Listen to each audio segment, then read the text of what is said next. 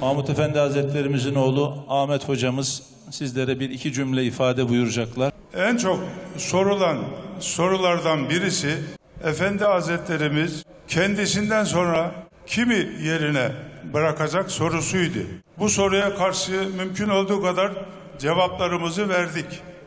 Ama duymayanlarımız olabilir. Duymayanlarımıza tekrar ederek tekrar tekrar söylüyorum.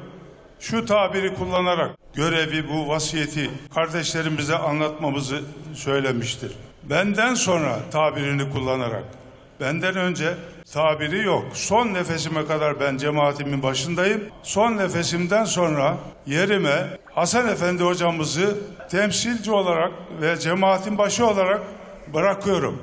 Bana defalarca onu kollamamı, korumamı tembih etti. Allah hepinizden razı olsun. Rızasına uygun davranmaya muvaffak kılsın. Sultanımızı son görüşümüz. Nice vakitler yolumu gözlerdik bakardık gelsin görelim diye. Gidiyor sultan.